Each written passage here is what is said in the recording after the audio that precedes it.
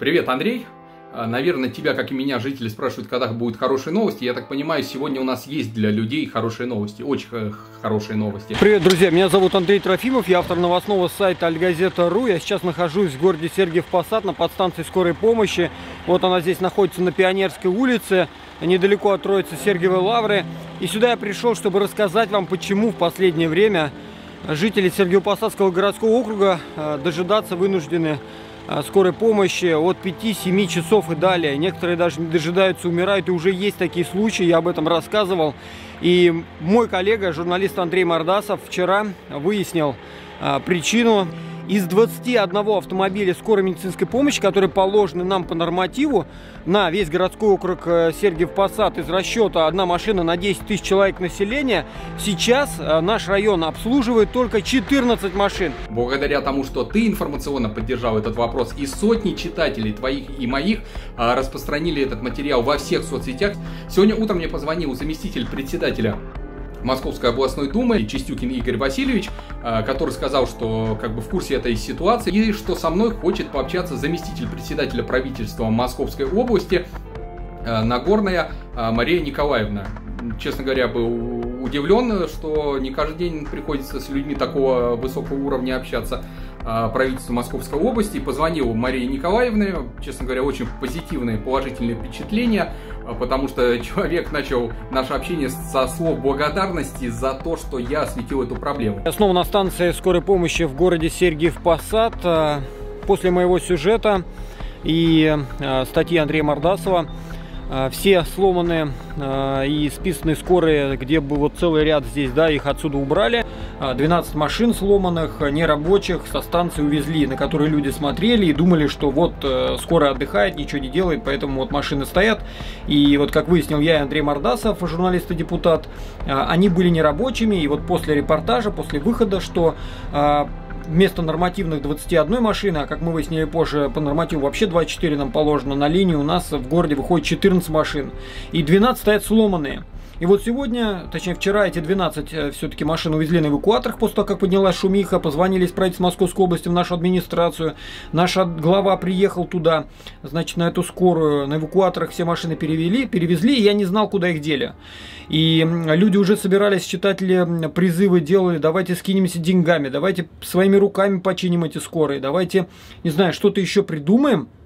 И в итоге сегодня, значит, э, мой коллега э, вот Андрей Мордасов позвонил заместителю председателя правительства Московской области из-за того, что как бы то и уже накапали э, на ситуацию, да, на него за эту ситуацию. Там были, короче, он захочет, потом сам озвучит, какие были на него, так скажем, оказаны э, попытки давления. Вот. Но, тем не менее, все разрулилось, и сегодня администрация разродилась пресс-релизом, согласно которому они признают, что 12 машин, которые были вывезены, они неисправные, что 3 из них спишут, вот, потому что у них э, выработался срок, э, так скажем, их э, годности. И 9 уже направили в ремонт на территории местной автоколонны 1791, которая является филиалом Мострансавто. Уже начался ремонт. Два из них, две, два автомобиля требуют автомо- серьезного ремонта, да, двигатель надо капиталить. А остальные это вот просто, значит, после мелких ДТП какие-то шероховатости, шланги, расходники и э, там бампер, фары и что-то еще. Почему до этого это все нельзя было сделать? Почему на линию выезжало э, как бы на 9 машин меньше из имевшихся, мы не знаем. Но сегодня нас заверили, что вот Андрей Мордасов еще и попросил у заместителя председателя правительства а, одну машину нам выделить, новую, а, из двух закупленной, да, вот их распределяли там, ну, как по муниципалитетам, кому важнее. Андрей сегодня звонил, А Мы с ней поговорили по поводу вопроса станции скорой помощи. Она сказала, что э, ну, да, вы должны понимать, что ситуация тяжелая, что ресурсов э, явно не хватает, но губернатор заинтересован, чтобы э, вот так, Андрей Юрьевич Воробьев, что вот таких ситуаций не было. Она в курсе, оказывается, и про ситуацию с полигоном Парфенова, э, безобразие на котором нам с тобой удалось э, э, предотвратить еще месяц назад. Значит, и мы с ней договорились о том, что мы будем сигнал, я буду сигнализировать ей лично значит, о тех проблемах, которые у нас есть, вот такого довольно достаточно высокого уровня проблемы, когда она затрагивает десятки тысяч людей и жизненно остро необходимо Значит, я думал, что меня переключат на какого-нибудь чиновника или подчиненного. Она сказала, нет, а, мы заинтересованы, поэтому присылай мне лично все, звони, пиши, я готова открыто к сотрудничеству. А, если у вас есть какие-то проблемы с местными властями, а, они, может, не реагируют, мы будем более чутко относиться. Я говорю, отлично, нас такая позиция устраивает, мы договорились о сотрудничестве. Я говорю, ну, раз у нас э, такой позитивный момент, э, мы настроены на позитив, говорю, мне со скорой потихоньку э, нашептали, что Сейчас идет распределение одного из двух автомобилей по северо-восточному направлению Форд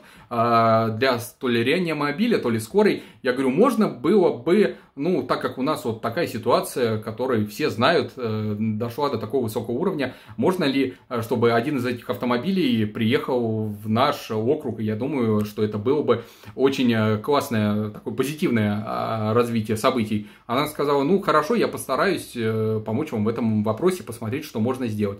И пресс-служба уже официально объявила, что у нас на одну скорую машину будет больше. А с учетом того, что 9 починят, на линию будет выходить на 10 машин больше.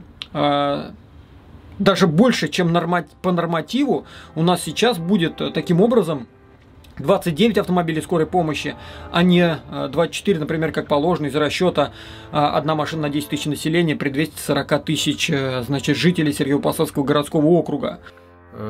Ребята, жители, мы молодцы, но это очередной раз как бы доказательство того, что мы можем реально мы можем, а, у нас получится, а, но только если мы все вместе. Надо отдать должное всем вам, а, всем читателям и подписчикам, которые распространяли эту информацию просто молниеносной скоростью. Не только в Ютубе, ВКонтакте, в Одноклассниках, значит, в Инстаграме, тьма репостов, запросов, звонков.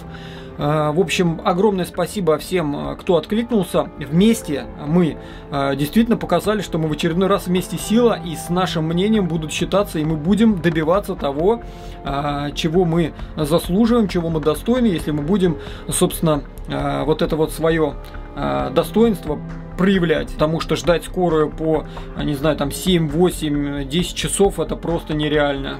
Блин, ну, ну это, это, это и так не должно быть. Так не должно быть. И, естественно, не без э, ложки дегтя. А, к сожалению, а, кардинально вот ситуацию с увеличением количества скорых не решит проблему их э, такой дли, длинной задержки, потому что по-прежнему э, наши скорые возят наших больных, э, не ковидных, а с любыми другими заболеваниями, в другие э, районы, в другие больницы, где мест не хватает, где люди, э, людей потом привозят вообще обратно. И это ужасная ситуация, не знаю, э, это все естественно связано с тем, что наша медицина, наше здравоохранение вот, вот так вот дооптимизировано, э, с этим, нужно, ну, с этим нужно, конечно же, бороться, и с этим мы будем и этот вопрос мы тоже будем поднимать, обсуждать. Простите, что я в очках. Блин, на самом деле я хотел сначала зачитать а, свой материал, текст написанный на телефоне, поэтому одел очки, чтобы не было видно, что я его читаю. Потом понял, что это будет как без души. Вот, я там написал более сухо, более кратко, может быть, емко. Сорян, что растекаюсь по древу, но не умею я читать по бумажке. Вот, честное слово, простите. Надеюсь, что э, всем вам было интересно. Надеюсь, что я ничего не забыл вообще сказать. Э, блин, я, если честно, я рад, в очередной раз рад что мы не зря живем, не зря делаем свою работу. Вот.